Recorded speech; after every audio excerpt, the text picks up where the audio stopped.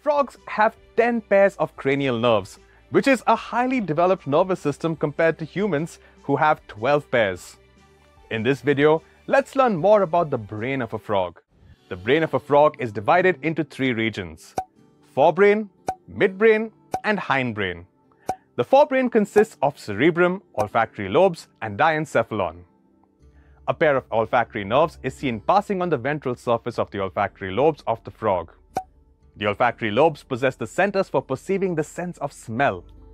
Behind the two olfactory lobes, the two cerebral hemispheres are seen connected with each other by transverse bands of nerve fibers.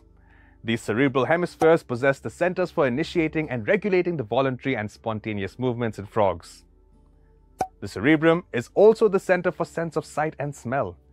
A hollow conical sac-like outgrowth is seen projecting from the ventral wall of the diencephalon. It is called the infundibulum. The posterior, broader end of the infundibulum is attached to a hemispherical endocrine gland called the pituitary gland. The pituitary gland controls the activities of several glands like thyroid, parathyroid, renal, and pancreatic glands. The pituitary gland also controls the metamorphosis of tadpoles and their growth. Anteriorly, two optic nerves from the two eyes cross each other on the ventral surface of the infundibulum and form an optic chiasma. The optic lobes have centers for vision. These optic lobes that are distinctly seen in the dorsal view are not seen clearly in the ventral view. The ventral and the lateral walls of the medulla oblongata are quite thick and most of the cranial nerves arise from these walls. The medulla oblongata governs certain voluntary and involuntary actions.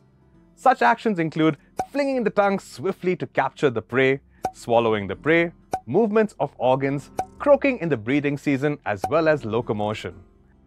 The medulla oblongata also controls the processes like the peristaltic movement of the stomach wall, blood circulation, and heartbeats. A longitudinal dorsal fissure runs along the median side of the dorsal wall. This fissure extends right up to the posterior end of the spinal cord. The cerebellum is prominently seen in the dorsal view of the brain. It possesses centers for controlling and regulating voluntary movements and the equilibrium of the body. It is not visible in the ventral view. Similarly, the posterior choroid plexus, anterior choroid plexus, and the pineal body are also noticeable in the dorsal view, but not visible in the ventral view.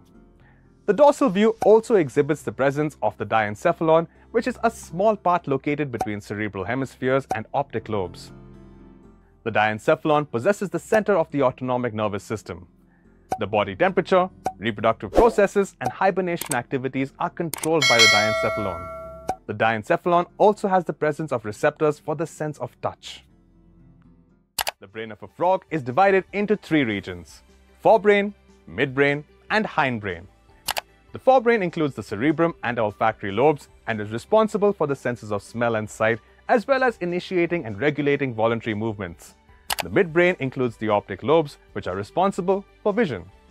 The hindbrain includes the medulla oblongata, which controls various voluntary and involuntary actions such as swallowing and locomotion, and the cerebellum, which controls voluntary movements and body equilibrium. The diencephalon, located in the forebrain, controls various glandular activities and body temperature and has touch receptors.